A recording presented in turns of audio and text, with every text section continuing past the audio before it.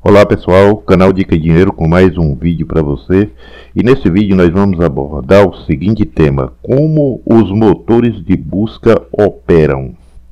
Ao fazer uma determinada pesquisa com determinada palavra-chave dentro de alguns segundos você tem milhares de resultados. Dentro de poucos segundos isso quer dizer que os motores de busca, os mecanismos de busca se encarrega de trazer para você sempre os melhores resultados em primeiro lugar. Sou Claudemiro e vamos falar neste vídeo um pouco de SEO, um tema que tem prejudicado muitas pessoas iniciantes que quer que querem trabalhar na internet e não tem como trabalhar porque acha difícil. Mas eu quero dizer para você que é possível, é uma técnica muito fácil, só depende de você pegar o macete aí e dar continuidade no seu trabalho.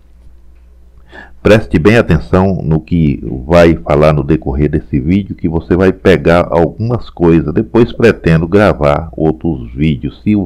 E já peço desde já que você deixe o seu like aí no seu vídeo. Os mecanismos de busca têm duas principais funções. Rastreamento e construção de um índice, ou seja, rastrear e indexar fornecendo ao usuário a pesquisa com uma lista de classificação de site que você determinou com a mais relevância.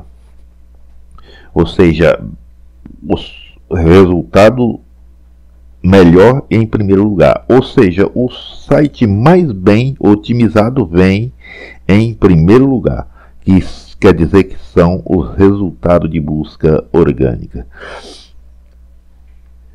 Por que busca orgânica? Se eu tenho condição de pagar para o meu site estar nos primeiros resultados do Google, ou seja, de outro buscador qualquer. As pesquisas dizem que 70% dos negócios acontece com resultado orgânico.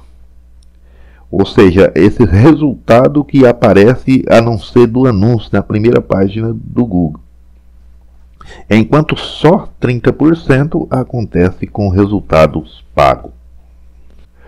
O Google recomenda a seguinte forma para você ter o melhor resultado em seus motores de busca. Ao criar uma página, você cria esta página para o seu usuário, focado no seu usuário e não para os motores de busca. Porque você criando para o seu usuário, para os leitores do seu site ou da sua página ou do seu blog, você vai ser bem ranqueado. Você vai ver no decorrer do vídeo.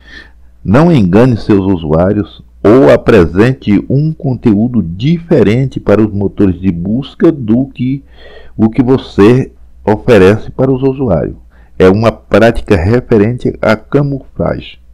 Faça seu site com uma hierarquia clara, link de texto, cada página deve ser acessível a partir de um link de texto estático. Isso ajuda muito a navegação do seu site.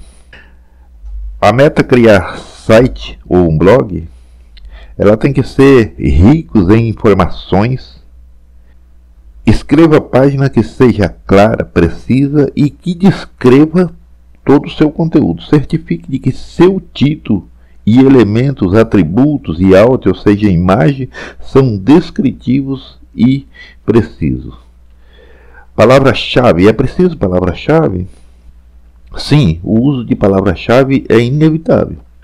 Você tem que usar a palavra-chave no título, na URL, no decorrer do texto do seu artigo ou ou seja lá que conteúdo que for, e mas tem que ser de um modo natural, nada exagerado.